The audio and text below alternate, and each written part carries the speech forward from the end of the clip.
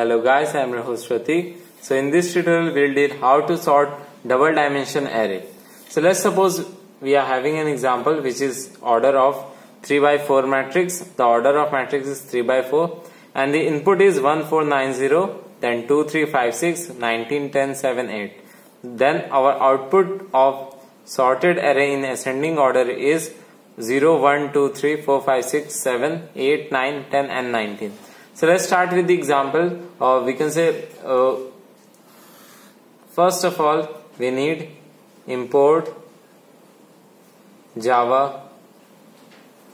dot util I am writing comment also that is importing packages the next is create a class we can say class xyz then open the class then public static void main from where the actual execution start execution starts here.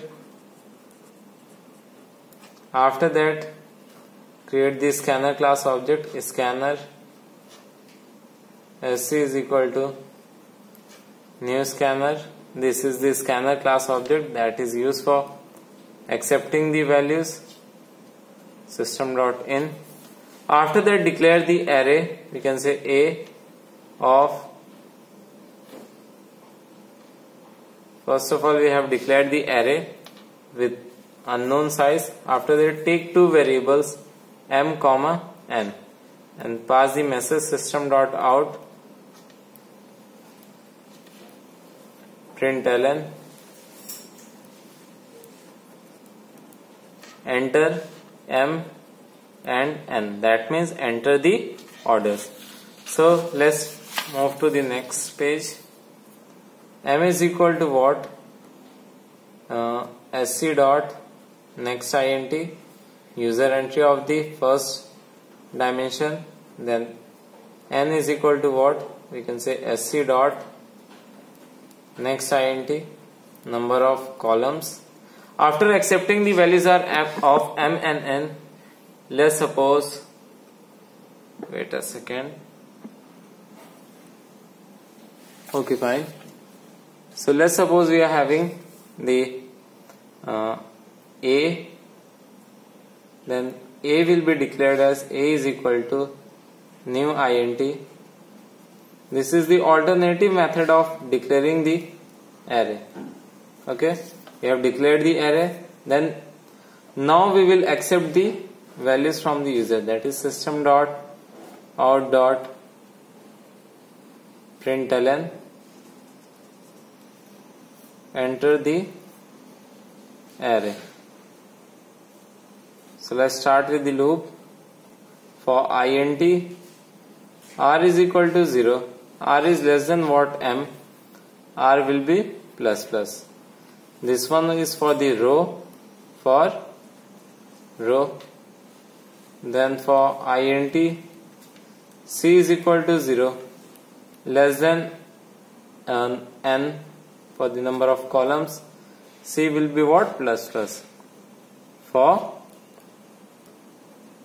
column. Then accept the values in r is to c is equal to what? Sc dot next int we have accepted the values. And the next part is sorting of the array. When we talk about this sorting the sorting is done with the help of four loops. Basically first loop is for selecting the row. Second loop is for selecting the columns. We can say rs is equal to 0 less than what? M rs plus plus. After that for int we can say cs selection of column. This is the first selection of column. Plus plus. Then for now our actual element by which we will compare this loop is for the variables which by which we will compare the selected row. Then for int c is equal to what? 0 less than n and c will be plus plus. Here these particular two loops are for selecting. These are for selecting and these are for comparison. We'll select the one element and compare with the whole with the whole array then select we'll select the second element and we'll compare with the whole array. Then select the third element and compare with the whole array. So the condition will be if a of r is to cs is what? Greater than a of r is to c. Then we'll swap the elements. That is we can say int t a of r is to s okay a of r is to s is equal to a of r is to uh, we can say r s is to cs that means selected element. A of rs is to cs is equal to t. We have swapped the both the selected and the current element with each other. Now close all the loops.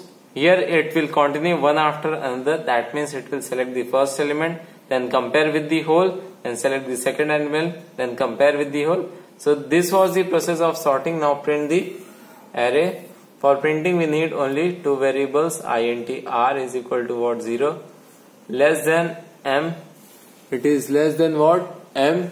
After that r will be plus plus then for int c is equal to 0 less than n c will be equal to plus plus.